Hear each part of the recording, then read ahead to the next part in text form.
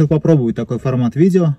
Покупаю некую машину, так скажем, ниже рынка с какими-то проблемами. Делаю, катаюсь, делаю на нее обзор и смотрю, что это, из этого получилось. Это для тех, кто хочет стать перекупом, но боится. На самом деле, этот канал гаражный я начал вести уже после того, как закончил заниматься машинами. Эта машина у меня, конечно, не первая. Вот, занимался этим исключительно по выходным. Больше, наверное, для себя, но, к сожалению, ничего про это не снимал. А когда я решил, что нужно попробовать поснимать, времени совсем уже на ремонт и не осталось.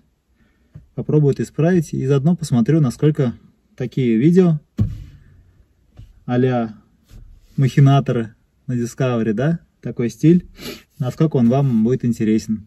Вот можете меня поздравить, стал счастливым обладателем Peugeot 206.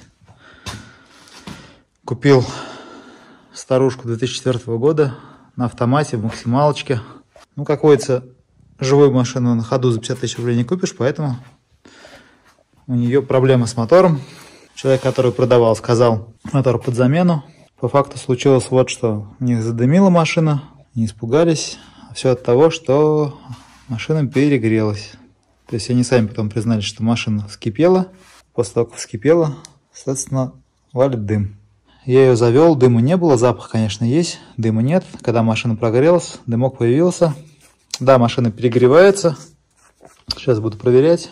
Вот. Ну и, скорее всего, от перегрева могли сесть кольца, конечно. А, и могло повести голову. Поэтому, собственно, и дымоган. Потому что, скорее всего, горит антифриз, а он валит, наверное, через прокладку. Вот. Но если прокладку менять, то в любом случае можно будет оценить и состояние цилиндров и заодно уж там и колечки поменять. Собственно, немножко о машинке. Машинку человек покупал три года назад за 150 тысяч рублей. Сейчас, конечно, наверное, цена до 150. Это машина на автомате, все-таки год 2004 старый. Peugeot это не самая дорогая марка, так скажем, на вторичке из-за известных проблем с электрикой, с подвеской с задней балкой. Но, тем не менее, мне эта машина нравится. Про нее сделал отдельный обзор. Про нее и вообще про Peugeot. А сейчас это видео будет длинным, скучным про то, как я ремонтирую эту машину, во сколько мне это встало что из этого получилось. Вот, погнали. Так, у нас автомат, климат-контроль мультируль, не на руле который, да? Вот, все красиво, светлая отделка. Кроме проблем с двигателем, того, что его перегрели, есть такие вот проблемы с краской. Облупился лак, то есть крышу красили. Двери при этом крыли крашенными не выглядят. Хотя нет, вот здесь есть переход. Нет, переход есть.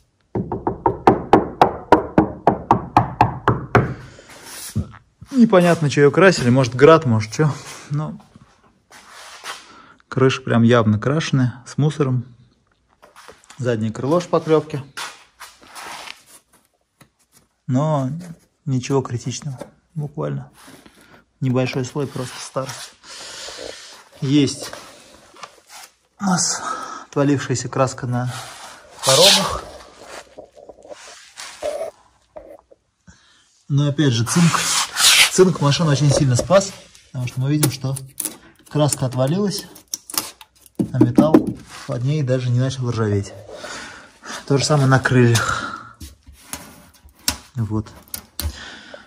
Я не думаю, что это есть смысл все закрашивать. Я думаю, что я на черном цвете, тем более, что это такой очень лайтовый металлик. Я думаю, что я смогу покрасить переходом. Это брызгали просто посюда, просто этим гравитексом. Ну, вот, собственно, вот им же и здесь брызгали. Просто это надо сделать краской, а не только гравитексом. Гравитекс положили просто на металл, так не делают.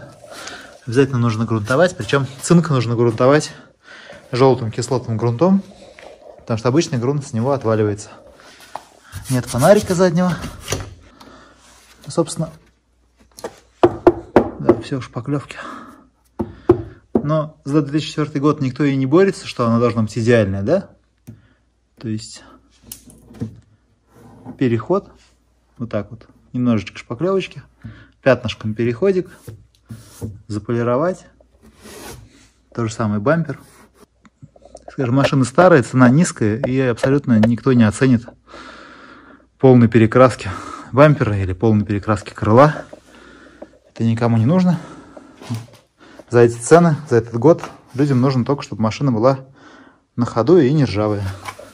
Она не ржавая, она на ходу. Да, пороги. Мятые пороги. Здесь цинк начал ржаветь только потому, что его вытягивали, вытягивали. Самое страшное, что вот есть, это, конечно, пороги. На пороге мы, я думаю, покрасим переходом с гравитексом, с грунтом по технологии, все будет хорошо. И вот крышу придется вот с ней что-то делать. Она вот некрасивая. Снимать антенку и красить как-то. Либо вот так переходом красить, брызгать. Переход, конечно, будет некрасивый, его придется долго полировать. Либо все крушить целиком. Но это ну, затратно. Надо подумать. Либо ничего не делать, просто скинуть 10 тысяч человеку, и он будет доволен ездить на такой машине радоваться. И будет ему абсолютно плевать, что крыша плохо покрашена. Но я думаю, что есть определенный смысл все-таки зашкурить этот плохой лак, жестким переходом покрасить. Сказать, что да, вот здесь вот была такая фигня, мы ее устранили. Теперь здесь не будет ржаветь. Все. Но самое главное, конечно, разобраться сначала с двигателем. Чудесная Peugeot система. Быстрозажимная клемма. Очень удобно снимать клемму с аккумулятора. Если у вас где-нибудь кротыш. А в Peugeot кротыш это не, не удивительно. Потому что Peugeot вообще славится электрикой не сильный. А какой? Слабый, да? Вот. Попробуем завести, посмотрим, где чего идет, не идет по термостату сначала. вообще идет ли.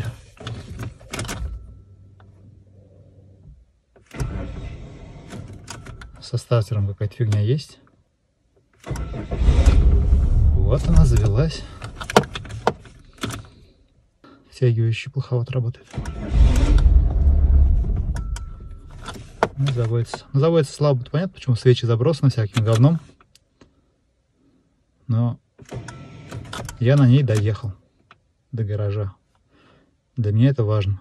При покупке машины для меня очень важно, чтобы машина могла хотя бы какое-то расстояние проезжать сама. Даже если вы на эвакуаторе привезти можете. Чертовски неудобно ее по гаражу гонять туда-сюда, если она не передвигается сама. Check engine горит. Но машина работает.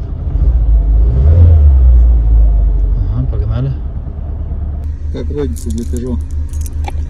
Нашел вот в бардачке перегоревшие лампочки.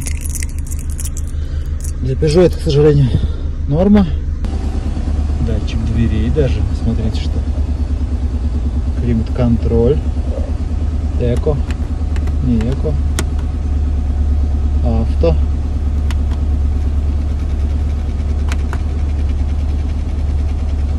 Красота.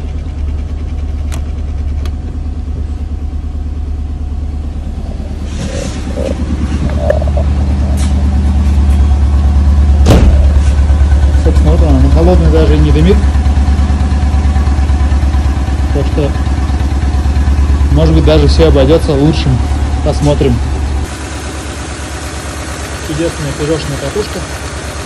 Единая, не отдельными блоками, а одним большим. И вот один проводок, который здесь вот на изоленте держится, потому что провода рассыхаются у него, потому что прямо над двигателем находится. Пока все неплохо, кстати. Дым-то особо и нет.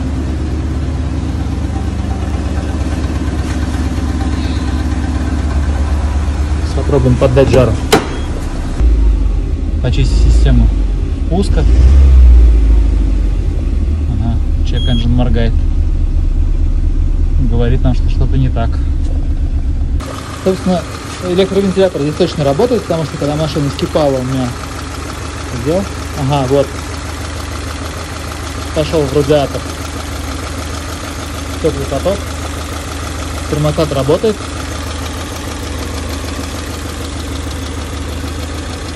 Низ холодный. Радиатор тоже, теплеть начинает, да, но пока еще холодный.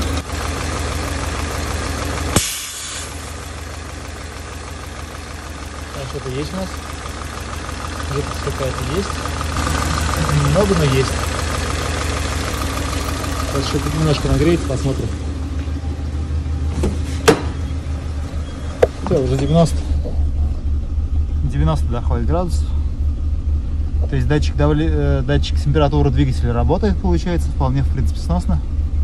Потому что температура очень похожа на настоящую. Начинает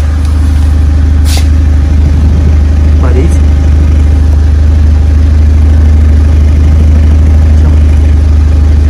Запах, запах не масла, честно говоря.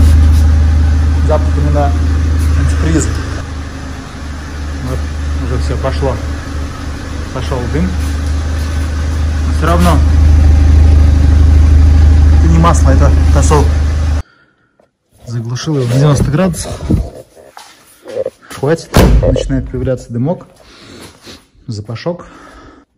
Нижний патрубок начал тоже теплеть. Верхний прям очень горячий. Машина, кстати, отключен кондиционер. Человек не думает, недолго думая, когда пошел шум от помпы кондиционера, просто поставил короткий ремешок от версии без кондиционера и все. Такие дела. Надо будет перебирать, возвращать на место. Проверим, есть ли воздух в системе. Здесь вот на шлангах от родосалона есть специальный колпачок. Честно сказать, Peugeot они в чем-то молодцы. В чем-то они мудаки, типа проводки.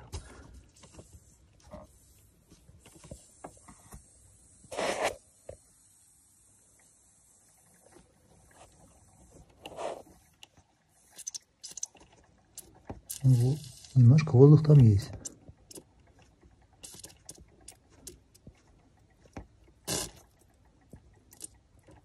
Но немного. Проверил масло. И масло очень такое липкое на щупе. То есть антифриз идет в масло. Ну, в любом случае прокладку надо менять. То есть масло, при, этом, при том, что мотор в таком состоянии, он масло, похоже, даже не особо расходует. Хотя человек казалось, что все масло вытекло, но никуда оно не вытекло, похоже. Ага, да. Вот и здесь тоже антифриз мы видим сейчас. Снимем башку, померим, проточим, это недорого. Мотор простой. Посмотрим, в каком состоянии мотор.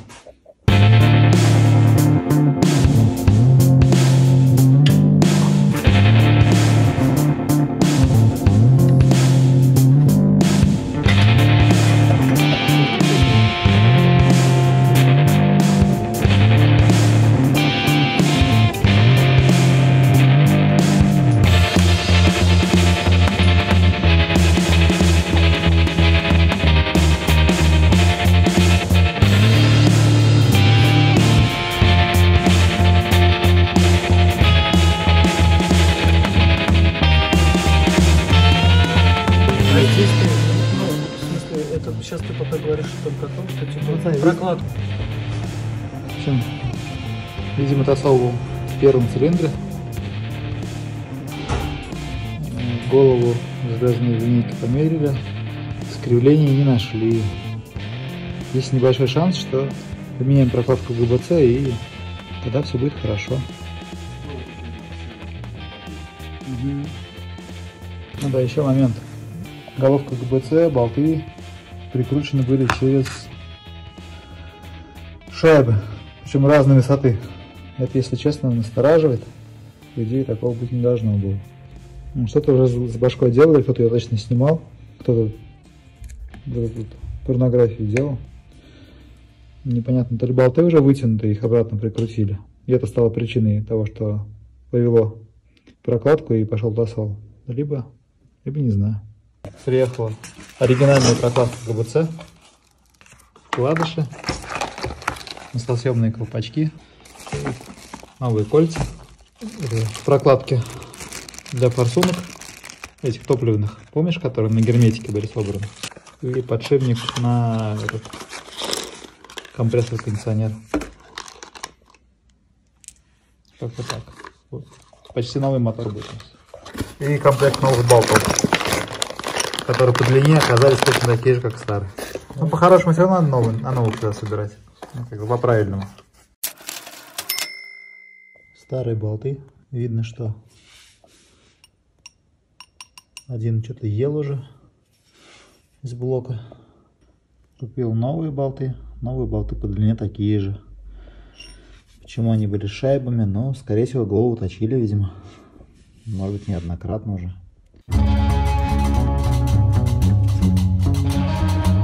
Вот в картере такая же фигня была.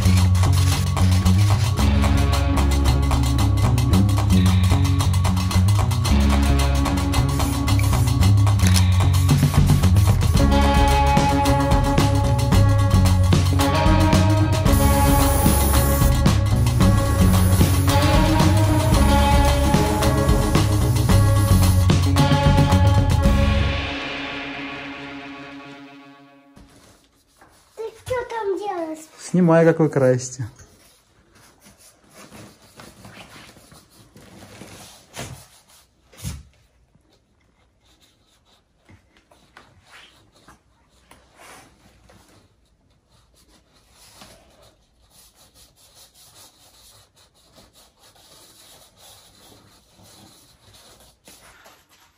В общем, такая дилемма у меня.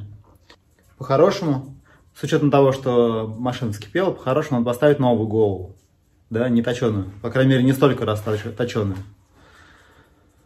С другой стороны, в планы новая голова не, не входила,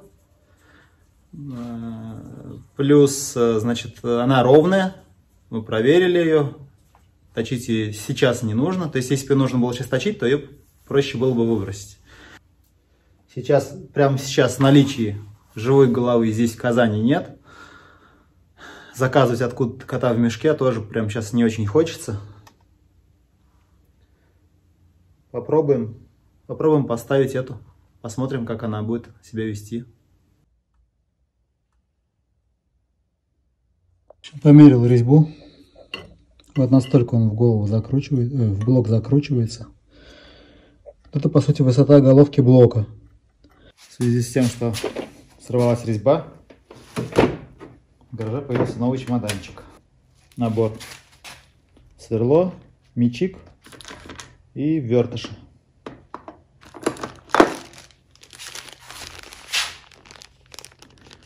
Для восстановления резьбы.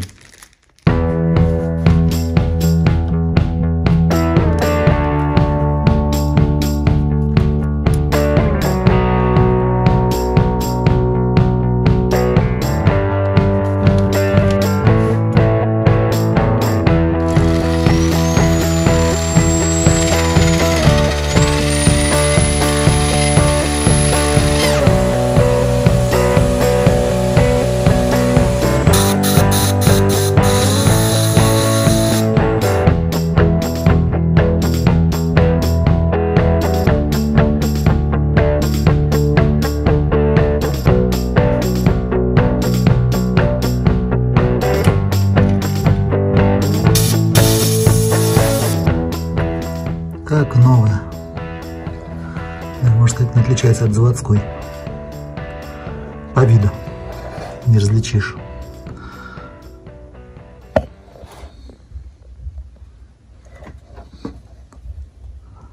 Так, коленвал выставлен на метку.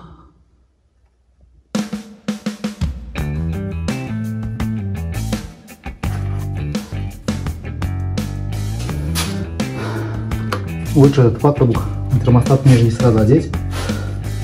Не забываем смазывать все свежим маслом. Сразу выставляем распредвал.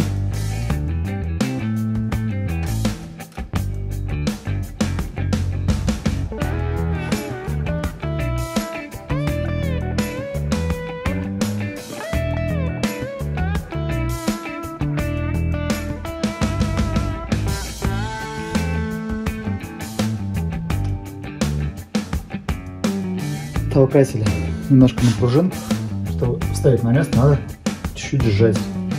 Сразу выставляем ГРМ, когда закручивать начнем, чтобы клапана не встретились с поршнем.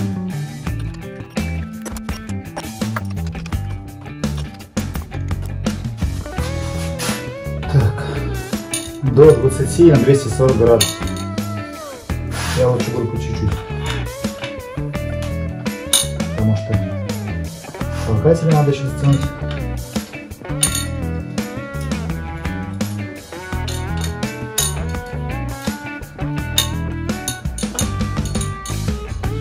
Сразу все болты обмякли.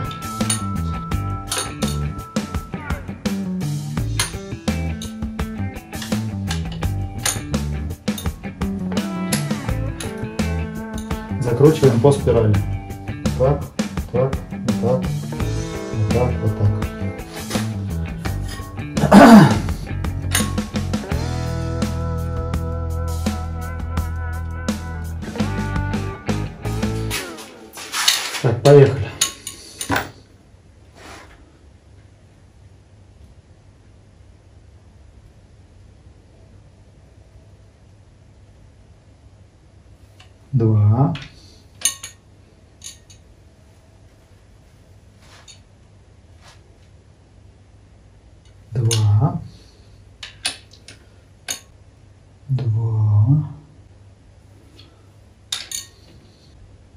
Два. Два. Два. Два. Два. Два. Два. Теперь 240 градусов. 240 градусов это 180 плюс 60.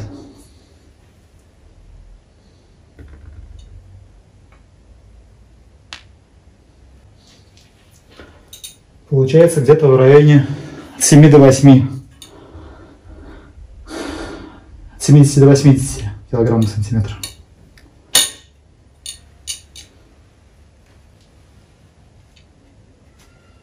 Хеликойл, кстати, себя нормально показывает.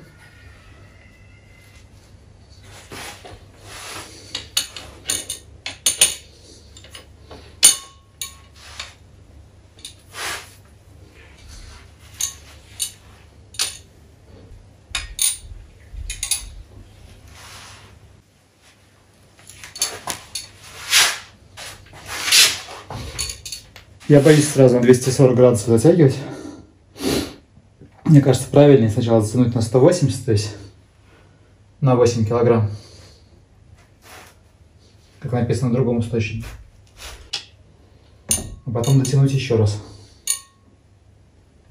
Момент лучше чувствуешь так и в кривь перетянуть меньше шансов.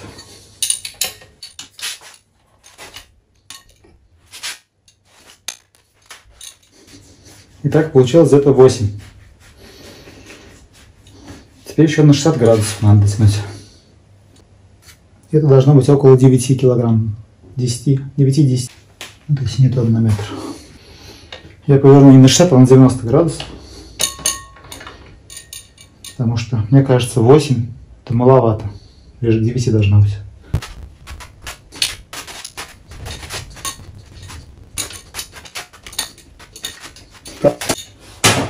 Надеюсь, что я не лоханулся, она будет работать. Блок алюминиевый, до десятки тянуть что-то мне страшновато, если честно. И по ощущениям кажется, что уже похоже, что все нормально, больше не надо. Но если я лоханулся и сделал все неправильно, ну что ж, будет лишний, там, лишних полдня, день времени потерян и полторы тысячи рублей на прокладку. Ну, болты, ладно, три тысячи рублей. В любом случае, эту потерю я переживу и приму опыт, если что-то пойдет не так. В крайнем случае, всегда можно купить новый двигатель 2020. Ну, бэушный, контрактный. Ладно, теперь осталось собрать все навесное, все подсоединить, все залить и завести, прокатиться на этой машинке. Прокладки выпускного коллектора можно оставить старые, а вот на впускной коллектор лучше поставить новые.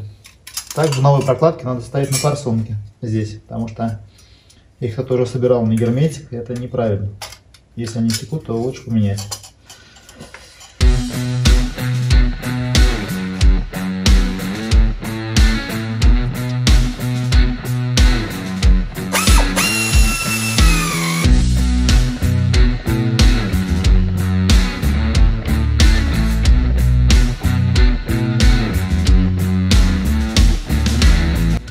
Есть герметик. Такой оставлять нельзя.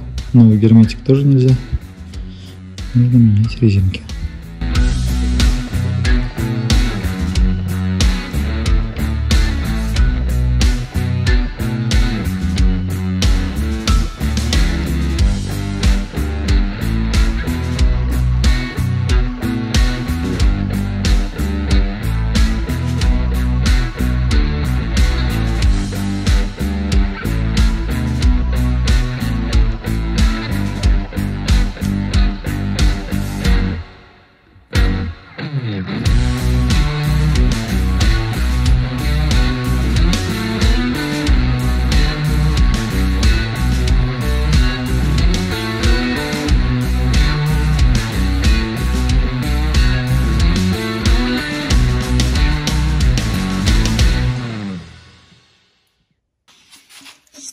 Находка в выпускном коллекторе.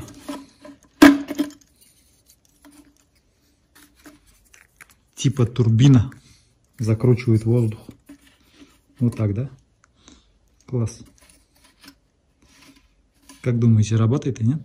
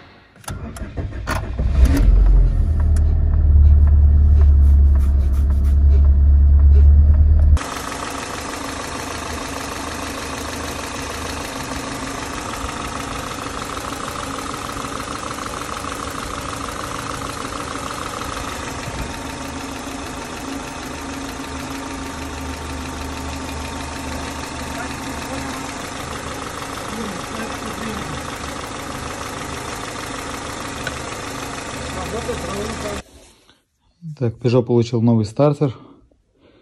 Как оказалось, из-за шлангов охлаждения коробки снять его не очень было просто. К сожалению, ничего не сняли. Еще совсем закончилось масло в горе. Поэтому вот такая штучка. Между прочим, не дешево стоит. По щупу было как будто бы пусто. А на деле хватило всего, не знаю, 50 миллилитров.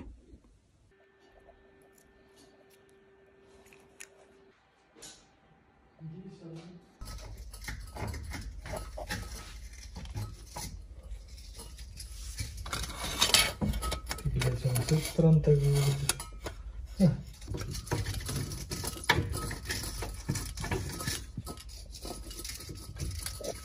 А. О том, как снять вот это вот, вот это вот, короче.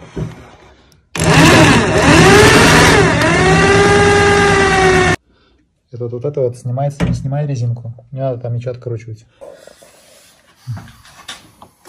Обычные болты М6.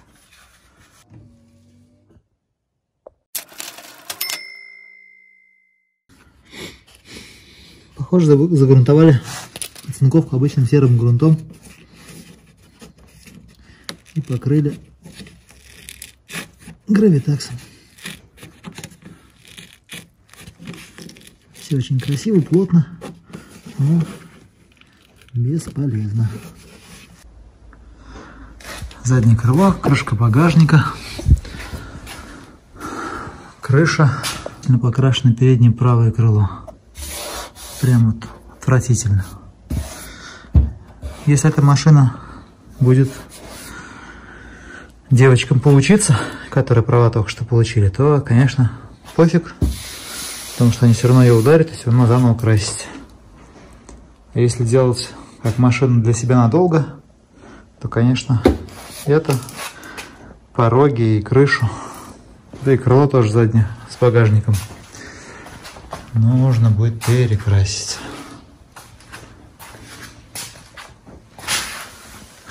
Два крыла. Но это покрашено получше. Хотя тоже, конечно, шпаклевки.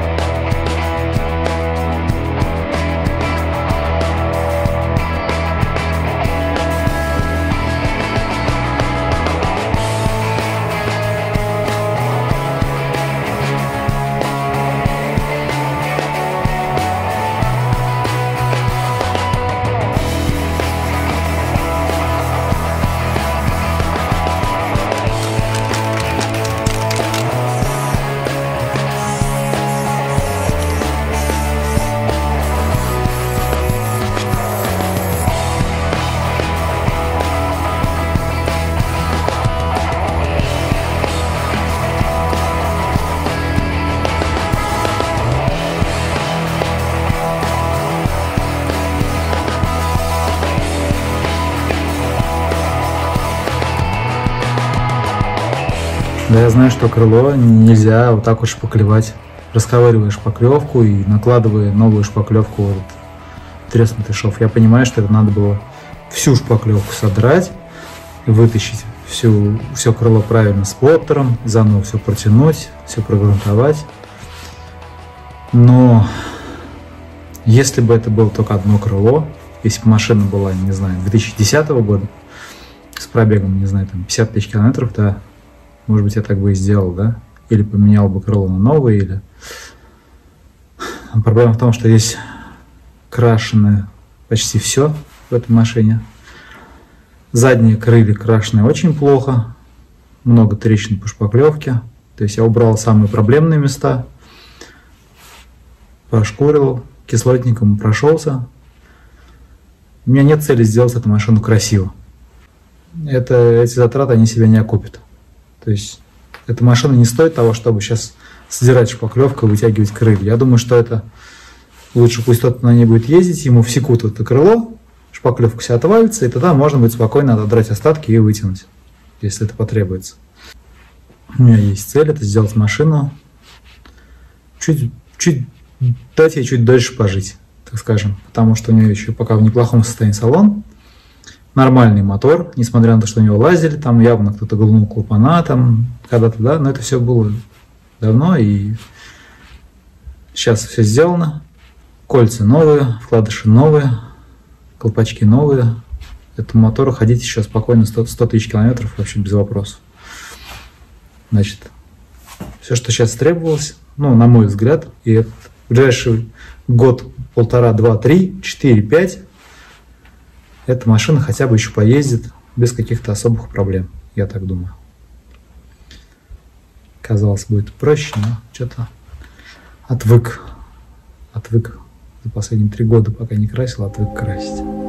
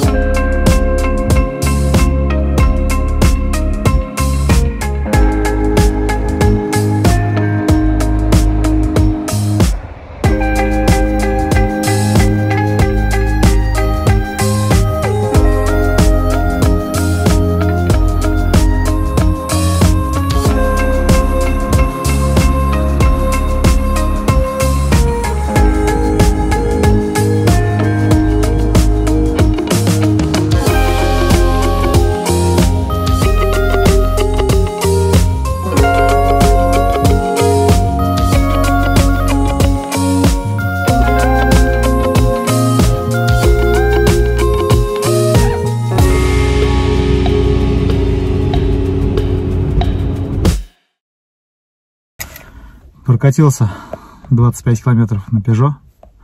Забытые чувства малолитражки. Честно говоря, давно уже не ездил на маленьких машинах. И как-то, ну, немножко непривычно. Мотор работает хорошо, достаточно тихо. Коробка тоже хорошо работает, мне очень нравится. Парнишка, у которого покупали машину, жаловался, что она на холодную пинает, но, блин, надо греть. Да, автоматы надо греть.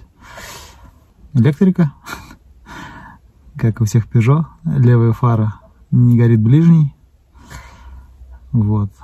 Причем дело не в том, что это депошная фара, а в том, что не приходит плюс. Тупо не приходит. Пробую подавать напрямую плюс на это место. Э, почему-то загорается дальний. Видимо, пробрасывать проводку заново будет. Вот, но в любом случае тут горит чек. Э, Все равно нужно съездить к электрикам, посмотреть, что пишет диагностика.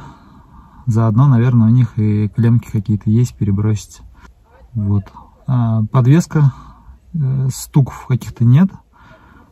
Есть небольшой гул, похоже, что ступичные задние, но не сильно, не критично. То есть еще все пока нормально. Просто, ну да, не молодая машинка, едешь, чувствуешь, что она уже не молодая, что уже так... Вот. Плюс чувствуется, что малолитражка, все равно колесики небольшие, хоть и 15 радиус стоит, и колеса резину отвеста поставили, но база-то все равно поуже, покороче. Вот. А, чувствуется, конечно, это. Может быть, я просто привык к свежей машине, к высоким машинам, с большими колесами, да, есть такое. Вот. А так прикольно. Ну, за свои деньги там, сколько она сейчас на рынке, не знаю, 150-170 тысяч. Сколько, как Матиза, да, условно говоря. Ну, в районе 180 это край, но вряд ли настолько 100 столько будет уходить. В любом случае она свою функцию выполняет, везет из точки А в точку Б.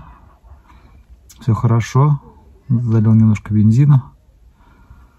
Завелась все без проблем. Машина хоть стояла две недели в гараже с накинутым аккумулятором, но не сел аккумулятор. То есть вроде ничего не сажает.